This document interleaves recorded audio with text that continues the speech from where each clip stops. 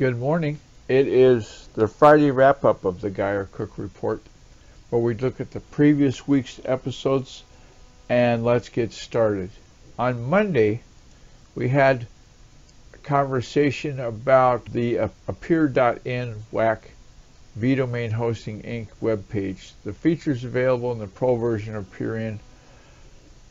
Uh, there's a link there in the show notes to let you see all the features and give that a, a peek. I think you're going to like the results of what you can do with Appear In and some other tools that we've employed. On Tuesday, we used Tuesday to talk about the 15 best practices for structuring URLs. It came from Moz. And then we went on to check the URLs that are then created in their SEO friendly URLs with the prepostSEO.com URL checker. And finally, although Moz didn't talk about it, you want to check that your SSL certificate, your secure socket layer certificate, is installed right and everything is Cricket. DigiCert installation diagnostics tool does that for you. So give that a go, give that a look, and let's talk about Wednesday. On Wednesday, the What's on Our Mind episode dealt with using Screencast-O-Matic. That's what I'm using right now to record this episode.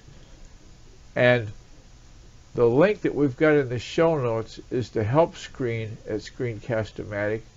And I think you're going to like what they have there. There's nine different help screens and give that a peek. Using appear.in is $9.99 a month. No, I don't get a kickback. I just have the satisfaction of knowing that you at least explored that. And then to get to the level of recording that we're doing here with Screencast-O-Matic and appear in, there's the steps in the notes on how that's done. So give that a look, won't you? That's the Wednesday episode. That was uh, on December 13th.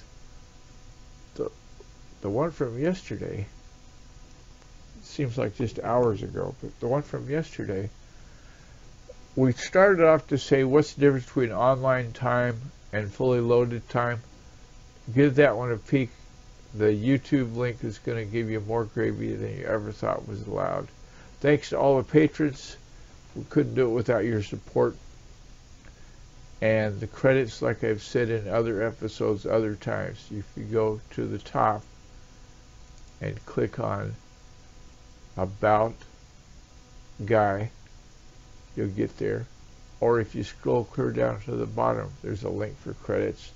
So thanks to Fraser, thanks to Eileen, thanks to Friends Just Chatting. It's a group on Facebook. And that's about it. Have a great weekend. I'll talk to you Monday.